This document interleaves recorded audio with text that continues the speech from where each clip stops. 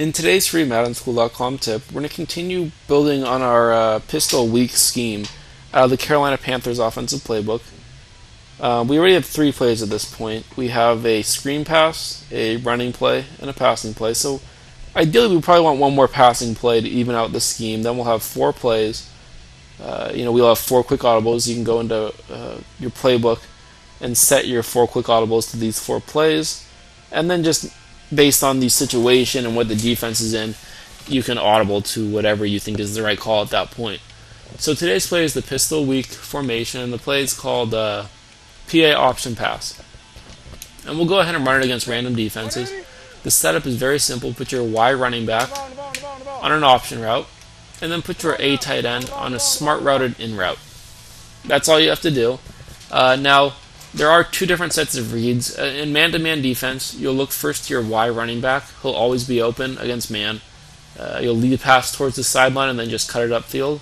If for some random reason he's covered, maybe the guy's user controlling uh, the guy that's on the running back, then you'll hit your A tight end on the uh, extended in route. He'll always be open as well against man to man defense. Now, if it's zone defense, the read becomes a little bit harder, but not all that hard, really.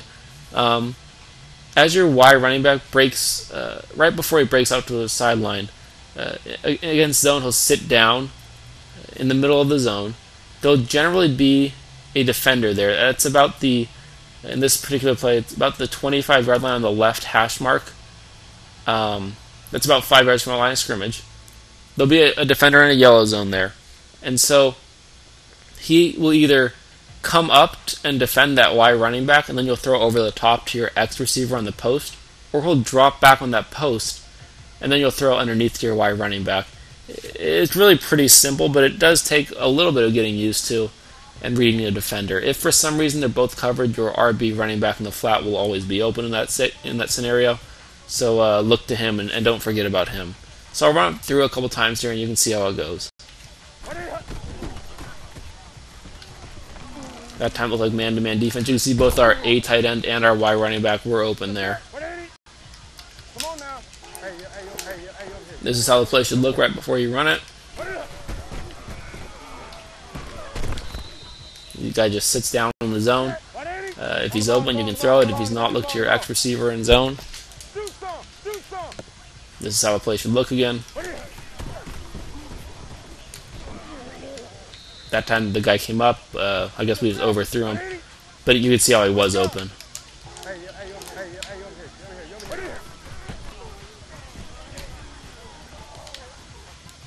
You can see we actually had our choice of three receivers there.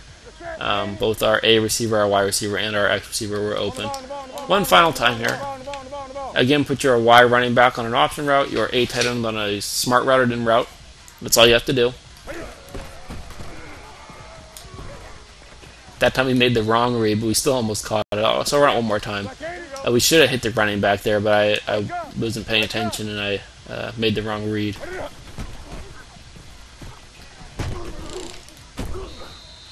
That time we hit our running back. So if you're enjoying our tips, make sure to like and subscribe. We will get back to uh, individual comments probably tomorrow, if not tomorrow, then the next day. So go ahead and leave your comments uh, in the comment section on both Madden School and YouTube. Uh, you know, tell us what you want to see. That's that's our main goal here. Um, so until tomorrow, take care.